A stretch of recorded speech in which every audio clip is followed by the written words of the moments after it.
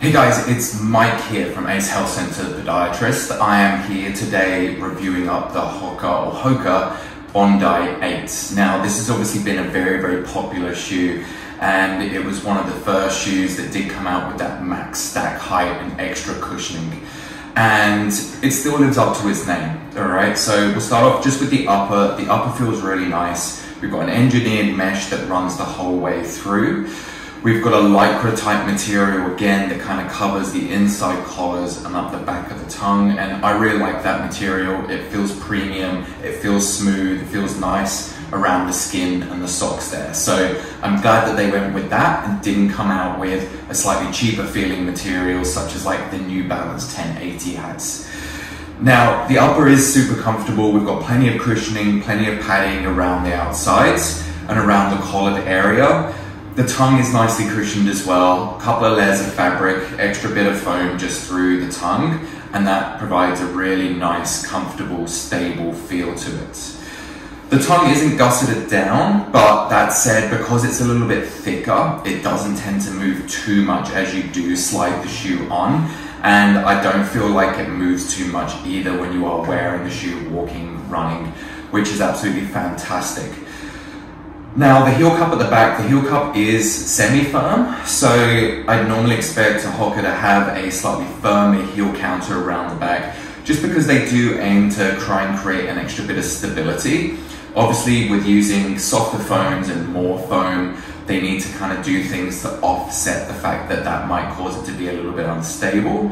And I would have liked to have possibly seen a slightly firmer heel cup around the back just to try and provide an extra bit of stability to kind of live up to its name as such.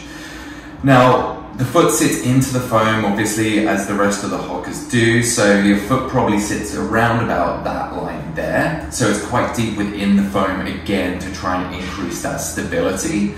That said, so like, as a podiatrist, I'd normally give the shoe, or in the past have given this shoe to people who a little bit unstable, slightly excessively prone, uh, supinate.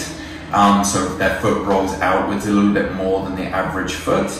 And I feel like this has lost its way and I started having a few issues with it for a few of the older models as well. And I almost feel like the heel isn't quite wide enough to create a really stable base.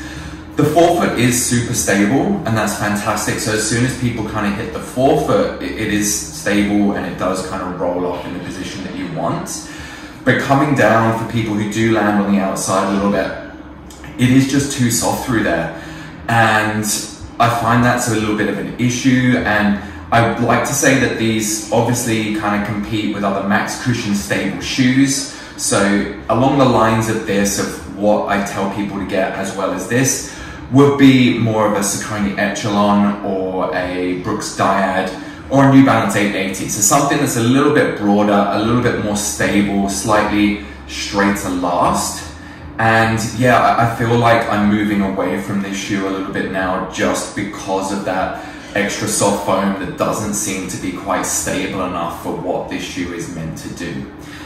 That said, for a neutral foot type with just you know, a standard run, someone who wants just something for comfort, for mile upon mile, I feel like this is great.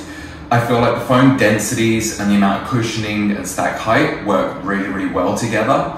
The cushioning through walking isn't overly soft, so it's not like, say, your Nike Invincible, which is another max cushion shoe.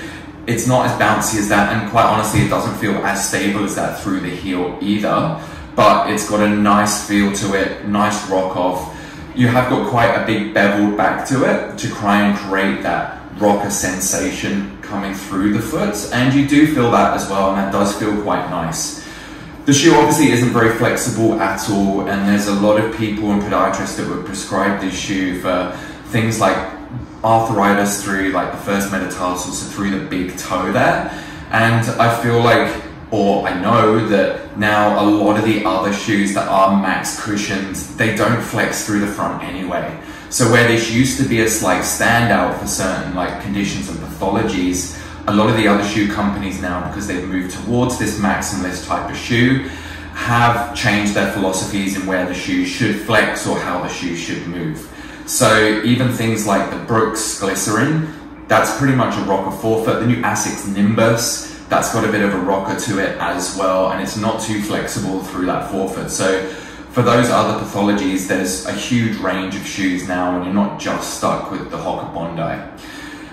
People love this as well. They've obviously got a leather upper version for workwear, and I can see why people would want to wear this. It's something that I feel like I could last all day on my feet on and provide just kind of all day comfort. But as I said before, if you've got a foot that excessively pronates or supinates a little bit too much, I wouldn't say that this is gonna last for you.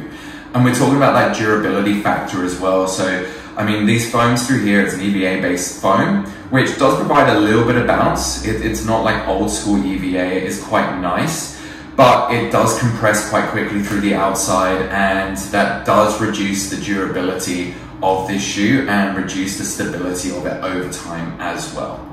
So yeah, look for a neutral foot who just wants something for everyday comfort.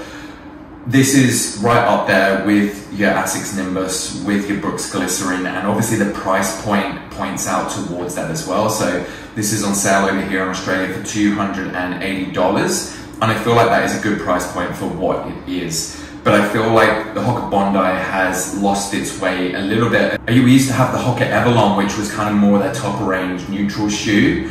And this has kind of taken over from that now. Obviously that didn't sell quite as well as they hoped.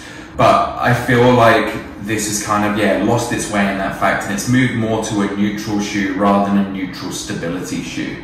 So I guess that's something just to keep in mind. I'd say try all the others on, but if you want something just for all day comfort, don't have that excessive movement, this is a great option for you.